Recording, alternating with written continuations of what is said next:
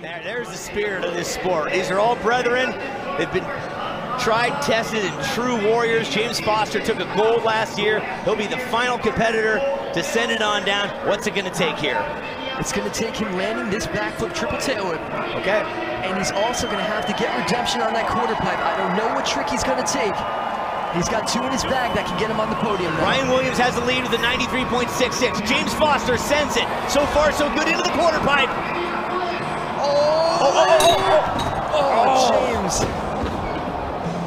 But that is a hard hit.